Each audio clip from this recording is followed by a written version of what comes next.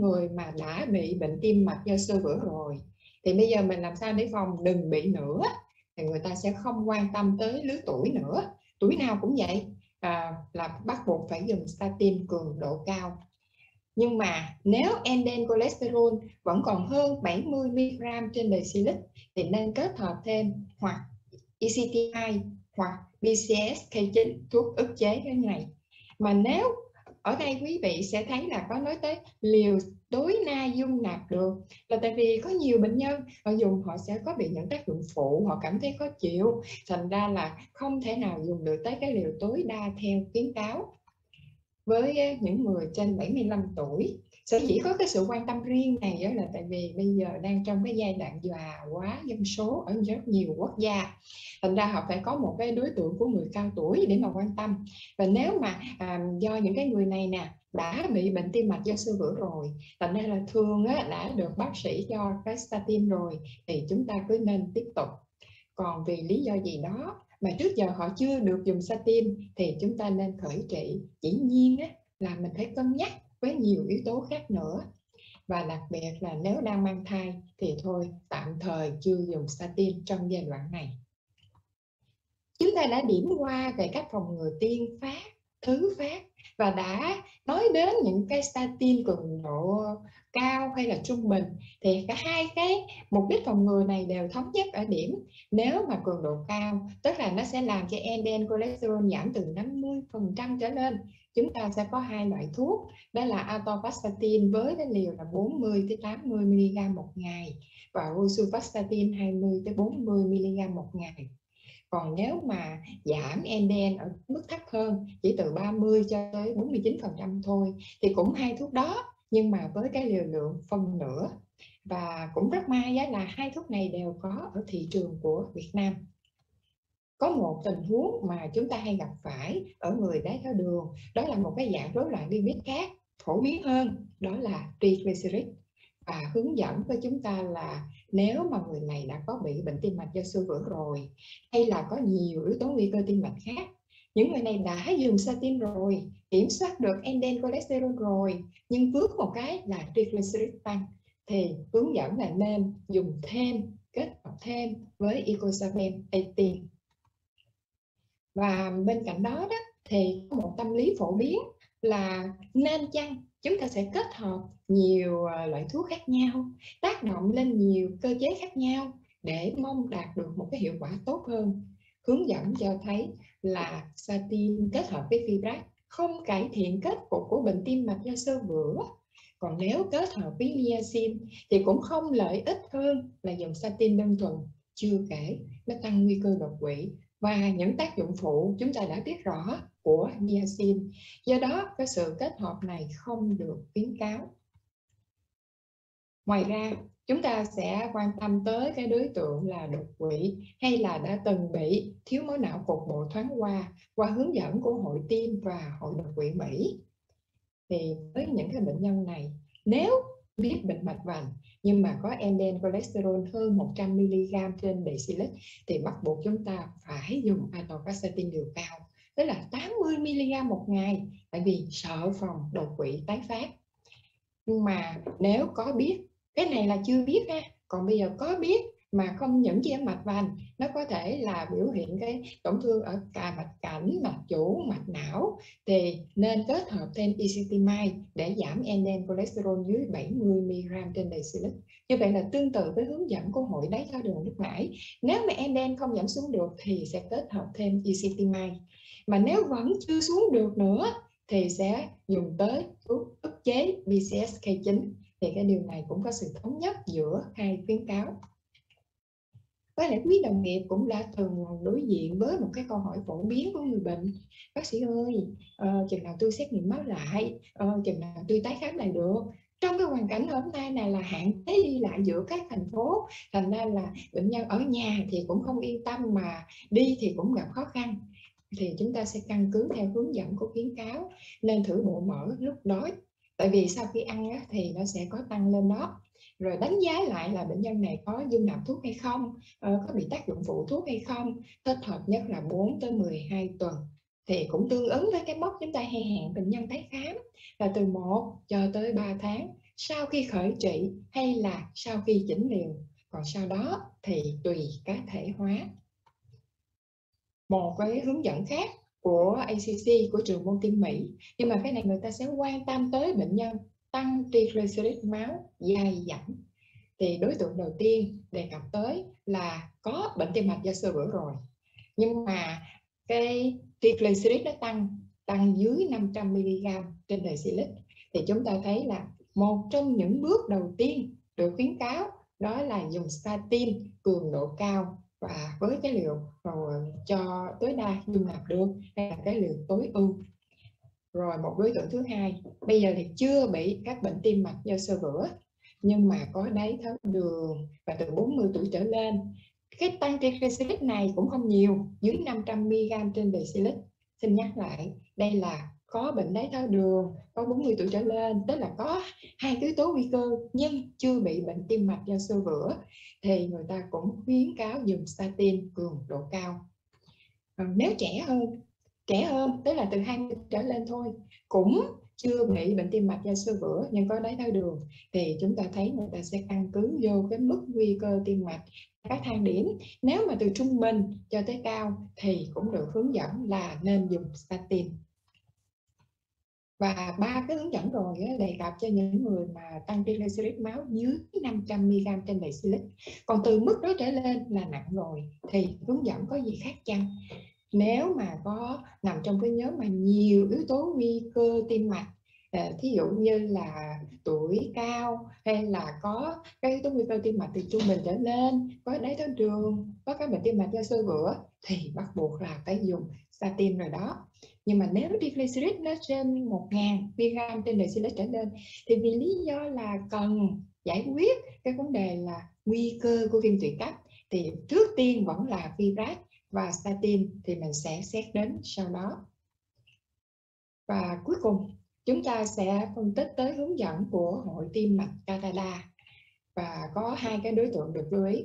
Tức là để phòng ngừa tim phát, tức là cho người chưa bị bệnh tim mạch do sơ vữa, nhưng rủi ro thai là có yếu tố nguy cơ tim mạch theo thang điểm Framingham mà từ trung bình cho tới cao, thì hướng dẫn là nên khởi trị statin. Cụ thể là nếu NDN mà từ 5 mmol trên lít trở lên, hoặc nếu có đái tháo đường, có bệnh thận mạng, chúng ta biết đây là hai yếu tố nguy cơ tim mạch lớn, hoặc là đã xảy ra những cái bệnh tim mạch do sơ vữa rồi thì phải khởi trị statin. Và với những người đã bị bệnh tim mạch do sơ vữa rồi đó, đã nhận cái liều tối đa cho phép hay là liều tối đa dung nạp rồi, một cái vấn đề xảy ra là nếu mà LDL cholesterol vẫn còn cao thì chúng ta sẽ xét kết hợp thêm ezetimibe hoặc là thuốc ức chế PCSK9 tùy cái mức độ cao của LDL cholesterol này. Còn nếu mà triglycerid cao ưu thế thì chúng ta sẽ xem xét để thêm icosapent 18. Như vậy thì qua bốn hướng dẫn mà chúng ta vừa phân tích thì có quá nhiều chi tiết về tuổi tác, về mức LDL, về mức triglycerid hay là các mức yếu tố nguy cơ tim mạch nhưng tự trung thì những các khuyến cáo này đều thống nhất ở các điểm sau. Thứ nhất là để phòng ngừa tim phát, tức là tránh xuất hiện các bệnh tim mạch do sơ vữa, thì chúng ta nên khởi trị statin cho người có cái mức nguy cơ trung bình cho tới cao. Còn nếu đã xảy ra bệnh tim mạch do sơ vữa rồi, bây giờ phòng thứ phát thì mình nên dùng statin cường độ mạnh, liều tối ưu. Mạnh tức là atorvastatin liều 80 mg một ngày và để giảm LDL cholesterol từ 50% trở lên so với mức nền trước đó. Và liều tối ưu là liều tối đa mà bệnh nhân dung nạp được. Kết quả nếu mà LDL vẫn hơn 70 mg trên decilit, hơn 1,8 mmol trên lít thì nên kết hợp thêm hoặc ezetimibe hoặc thuốc ức chế PCSK9 và dĩ nhiên là bên cạnh thuốc thì hai cái biện pháp phòng ngừa này đều đòi hỏi phải có sự kết hợp với cái việc mà điều chỉnh lối sống của người bệnh. Như vậy thì trên tinh thần của mọi người chúng ta là xu hướng mới trong điều trị bệnh tim mạch hiện nay thì trong năm 2021 các khuyến cáo của bốn hội nghị chuyên ngành đều thống nhất statin chính là chìa khóa then chốt để phòng ngừa các bệnh tim mạch do sơ vữa. Đó cũng chính là lời kết của phần trình bày này. Kính chào các thầy cô và quý đồng nghiệp. Kính à, cảm ơn.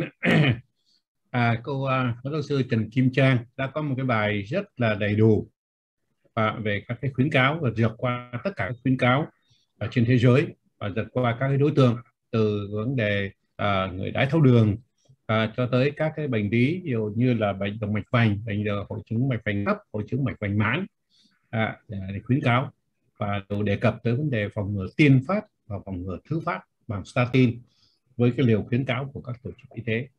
À, chúng ta còn à, nếu đúng theo đúng thời gian chúng ta còn khoảng 15 tới 20 phút nữa cho cái à, phần thảo luận. À, chúng tôi rất mong có một cái câu hỏi của các đồng nghiệp. Cái này hỏi cho cô Trang này. À, à, đồng nghiệp có hỏi là nếu bệnh nhân lần đầu tiên à, lần đầu tiên trị với statin nhưng không đạt mục tiêu à, và đương nhiên được khi đạt mục tiêu thì người ta đã thể tiến hành kết hợp với thuốc thứ hai là ezetimibe nhưng sau khi bệnh nhân đã kiểm soát được LDN sau hai lần xét nghiệm liên tiếp thì có thể uống xuống thang à, à, sử dụng đơn trị statin được không ạ? Tức là cái này gọi là step down à, gọi là đi lên thì có step down à, có à, rút lui có được không? Mời mời cô Trang trả lời câu này. Câu này chắc cũng à, rất là thực hành. Vâng dạ kính thưa thầy à, cùng à, quý đồng nghiệp đã nêu ra câu hỏi.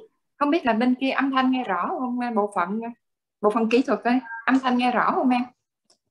Ở đây ở đây thì nghe rõ đấy. Không biết là các dạ dạ.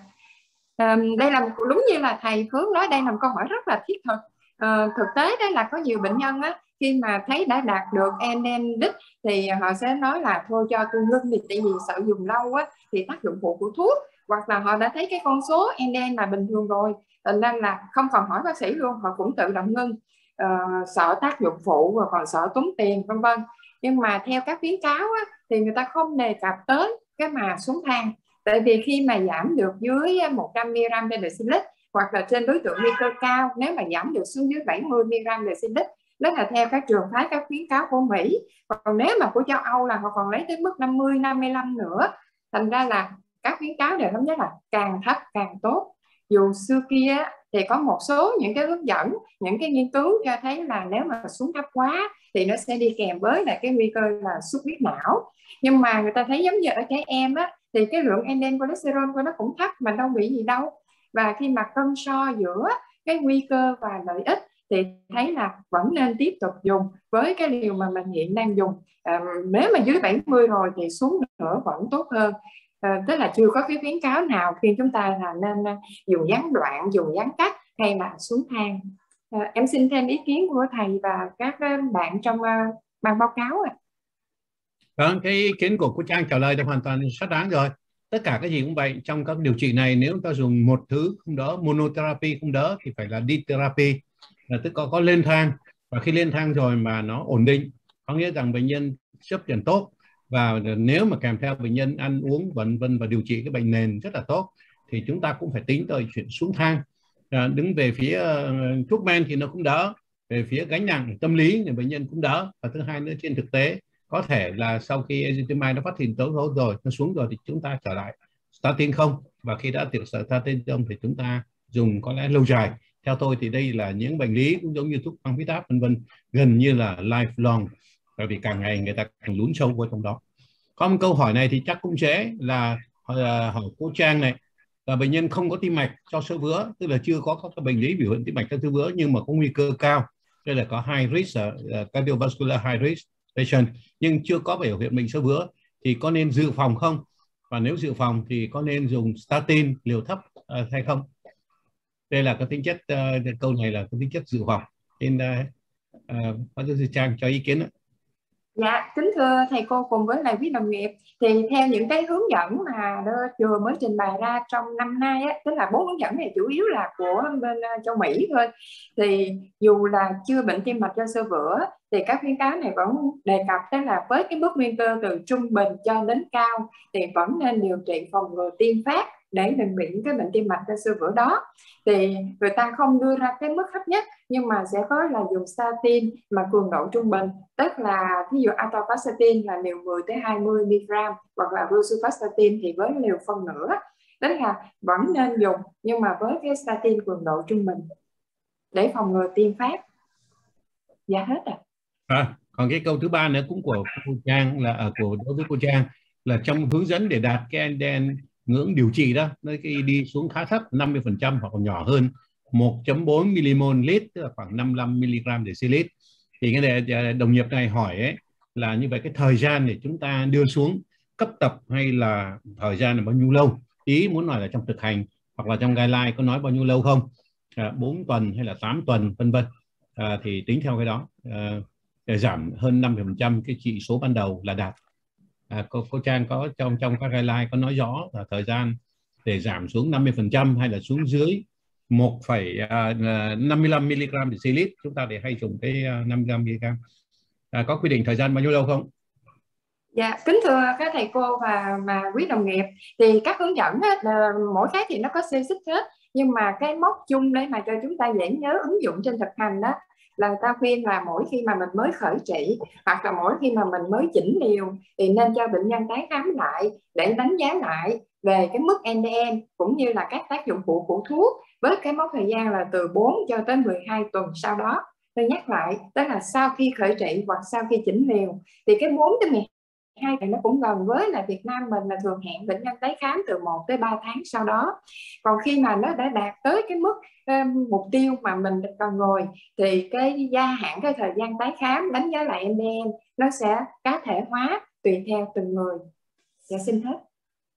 Vâng có một cái câu của thầy ờ, cho thầy uh, Vinh và thầy uh, và thầy Khánh này là ngưỡng xét nghiệm khác nhau ở các phòng xét nghiệm.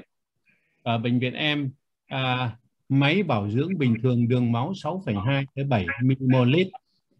Vậy đa số các bệnh nhân xét nghiệm uh, glucose ở mức 6 mmol.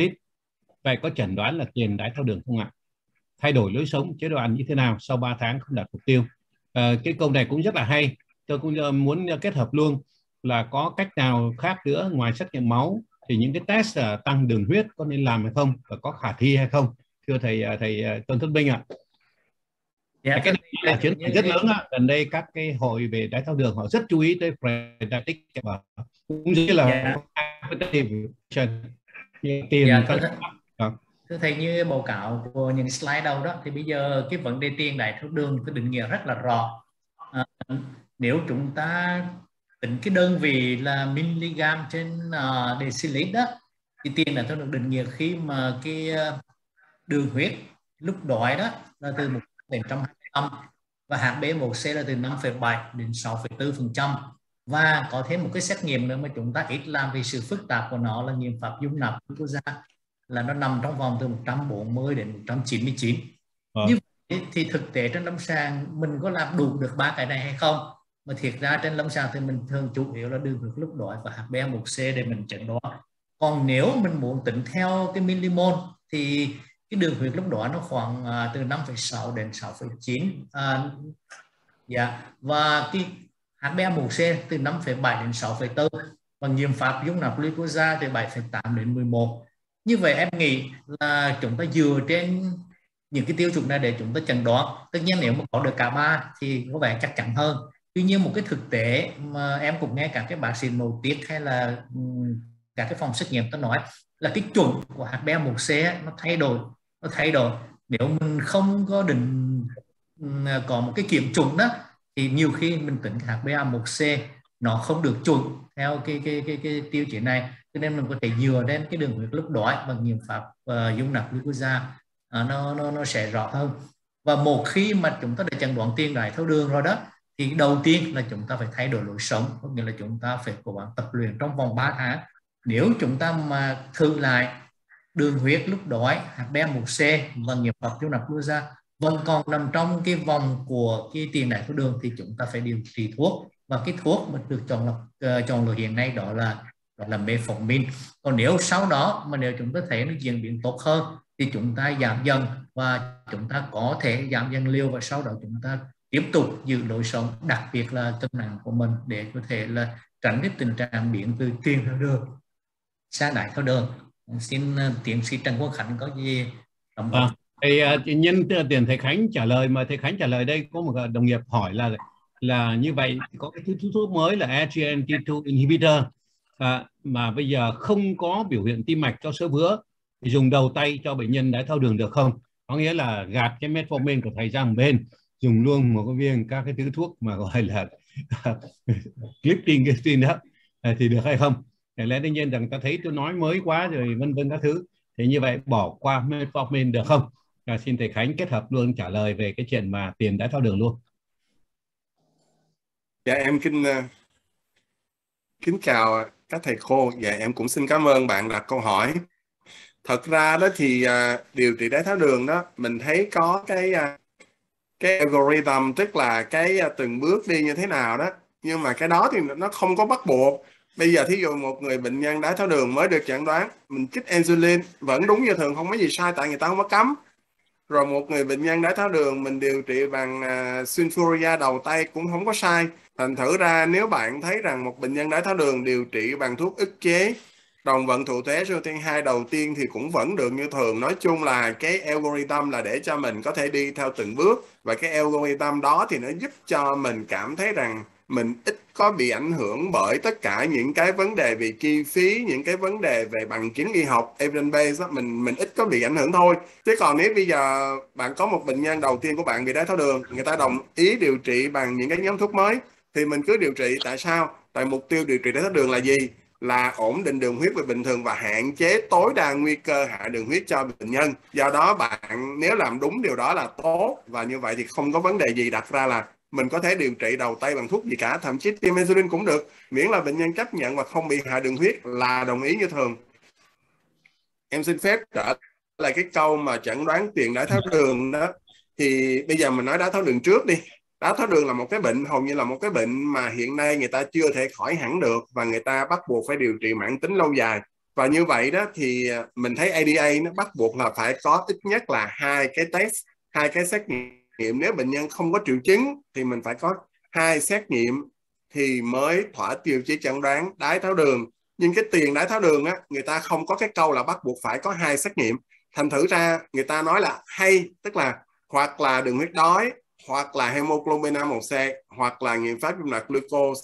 Thật ra cái nghiệm pháp dung nạp glucose mà mình làm hiện nay ở trong bệnh viện đó không phải là nghiệm pháp dung nạp glucose chuẩn tại vì nếu mình muốn làm một cái nghiệm pháp dung nạp glucose thật chuẩn theo cái protocol á nó phải có 14 bước chuẩn bị bệnh nhân bao gồm là ví dụ như bệnh nhân không hút thuốc lá, bệnh nhân phải không uống ờ, steroid trong vòng 14 đến 21 ngày. Rồi trước đó bệnh nhân không uống kẹm beta, bệnh nhân không mắc những bệnh lý cảm cúm gì trước đó hết. Rồi ví dụ như là bệnh nhân ăn mỗi ngày phải bảo đảm từ 150 đến 300 gram carbohydrate một ngày, tức là mình không có quan tâm đến cái chuyện điều khiển để chuẩn bị làm. Mình chỉ kêu bệnh nhân vô, mình cho bệnh nhân uống 75 gram glucose, rồi cái mình thử đường huyết 2 giờ sau khi uống thôi. Thì cái đó mình mới quan tâm đến khúc sau, mình không quan tâm đến khúc đầu. Và bởi vì cái tiền đề mình không quan tâm cho nên cái nghiệm pháp dung glucose của mình mình làm thật ra nó không có chuẩn. Thành thứ ra nếu mà mình dựa vào nghiệm pháp dung glucose thì nó vừa tốn thời gian mà chắc chắn cái tính lặp lại của nó không cao.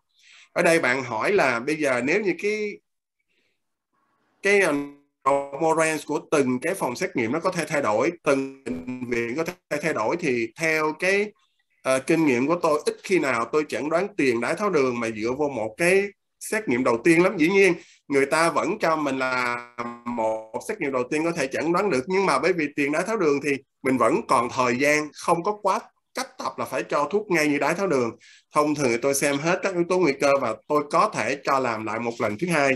Thì như vậy thì mình có thể là nếu bệnh nhân có yếu tố nguy cơ cao quá về đái tháo đường, rồi về bệnh lý tim mạch thì mình nên xử trí ngay với một xét nghiệm đầu tay. Còn nếu như bệnh nhân của mình là một cái người, ví dụ như người công nhân khỏe mạnh, bình thường, người công chức trong độ tuổi từ 20 đến 35 tức là cái độ tuổi mà không có béo phì, không có gì hết á, mà đi xét nghiệm tình cờ một cái xét nghiệm mà cho trong giới hạn tiền đái tháo đường ít khi tôi ghi cái chẩn đoán là tiền đái tháo đường vô lắm, tại vì tiền đái tháo đường đó, nó sẽ ảnh hưởng bởi nhiều cái tiếp theo nữa. Bệnh nhân sẽ bị ghi trong hồ sơ là mắc tiền đái tháo đường, rồi phải điều trị thuốc men, vân vân vân vân. Do đó thì tôi thường nói chuyện với bệnh nhân và hẹn bệnh nhân một lần thứ hai. Nhưng mà tôi nói cái đó thì nó không có tính chất gọi là pháp lý bắt buộc mình phải làm hai lần nhưng vì những cái lý do là tiền đái tháo đường không phải là mình cần điều trị thuốc ngay cho nên mình có thể cân nhắc điều trị lần xét nghiệm lần thứ hai. Dĩ nhiên nếu bệnh nhân béo phì có tiền căn gia đình tiền căn đã có ờ, đái tháo đường thai kỳ trước đó sanh con lớn ký vân vân thì mình có thể là mình tự tin mình cho thuốc ngay. Những nếu bệnh nhân trẻ khỏe uh, cân nặng uh, không có quá mức vân vân không có nhiều yếu tố nguy cơ thường thường tôi sẽ làm lại một lần thứ hai để quyết định là có nên điều trị hay không à, xin nhắc lại tiền đái tháo đường hiện nay người ta không có bắt buộc mình phải có hai test nha. Người ta nói là hai thôi nhưng mà vì trên thực tế lâm sàng cũng xảy ra những cái chuyện như bạn nói cái xét nghiệm nó thay đổi này kia cho nên thông thường thì nếu mà không có nhiều yếu tố nguy cơ thường thường tôi sẽ cố gắng làm thêm cái xét nghiệm lần thứ hai. Dạ em xin hết à, à, xin cảm ơn thầy Khánh. Mai mốt kia khi nào mà cái chuyện mà gọi là bảo hiểm ấy nó bán bảo hiểm hoặc là mua bảo hiểm hoặc là làm bảo hiểm đó đó, thì lúc đó người ta sẽ có những chuyện đó đó. Tại vì cái giữa cái người tiền có tiền đái tháo đường cái người không tiền đái tháo đường. Lẽ đương nhiên là cái bán bảo hiểm nó khác. Và khi đó người ta sẽ đòi hỏi à, những cái xét nghiệm xem xem có tiền đái tháo đường không vân vân. Nhưng bây giờ của mình thì đấy đấy cái chuyện gọi là nói gọi là phòng ngừa vậy thôi chứ còn hoàn toàn chưa có một cái hệ quả gì để buộc người ta phải làm hay là không phải làm cần hay không cần. À, có một cái câu cuối cùng à, à nữa liên quan tới à, cái chuyện statin thì cái, chắc là một đồng nghiệp này hỏi thì tôi cũng ờ, tôi, chúng ta cũng uh, tôn trọng là đồng lý Lý Minh Kiệt có hỏi rằng thưa cô Trang uh, nếu điều trị uh, statin với tim mạch nếu mà LDL hạ thấp quá thì có ảnh hưởng gì không? À, đây là trường hợp là hạ quá tại vì cô Trang toàn nói tới liều cao và tối ưu tối đa rồi liên tục đó. Thì có thể gom và nhất là vấn đề vai trò của cholesterol trong vấn đề tổng hợp. Ví dụ như là tổng hợp testosterone hoặc là tổng hợp uh, các cái thành phần của màng tế bào vân vân. Có gì không ạ? À, xin cô Trang trả lời Dạ, kính thưa thầy, thật ra đó tức là cái lời giới thiệu của thầy cũng đã trả lời một phần cho câu hỏi của bạn à, Lý Minh Kiệt. Thì à, thật ra là Kiệt đưa có câu hỏi này nó hơi ngựa. Không phải là enden thấp nó sẽ ảnh hưởng tới testosterone mà là ngược lại. Người ta thấy là đúng là có mối liên quan và là tay trong tay á, giữa um, testosterone thấp với lại enden cao.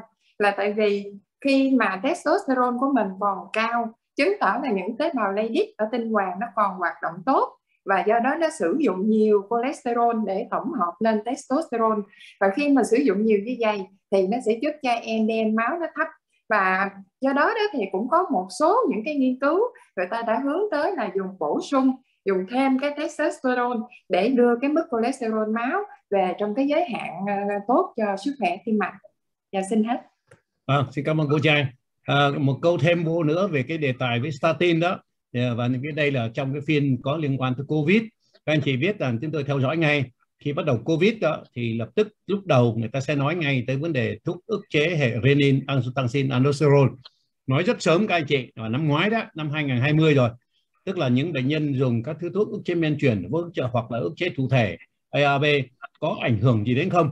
À, rất là hay tại vì nó liên quan tới cái thụ thể mà cái spike là tức là cái cái cái ờ, protein là uh, gai đó uh, là là ACE2 nó là nó, nó là angiotensin converting enzyme 2 nhưng mà sau người ta đã xác định rằng là hoàn toàn hai cái đó không liên quan gì cả. Cho nên chúng ta có thể dùng an toàn các thuốc ức chế thủ thể và ức chế và ức chế uh, thủ thể và ức chế men chuyển chuyện thứ hai nữa là vừa rồi đã làm ngay là statin liều cao để lợi dụng tác dụng kháng viêm anti inflammation vì trong cái uh, cái covid 19 đó thì chủ yếu trong cơ trong cái cơ chế của nó là có vấn đề là viêm à, rồi bão cytokine vân vân các thứ.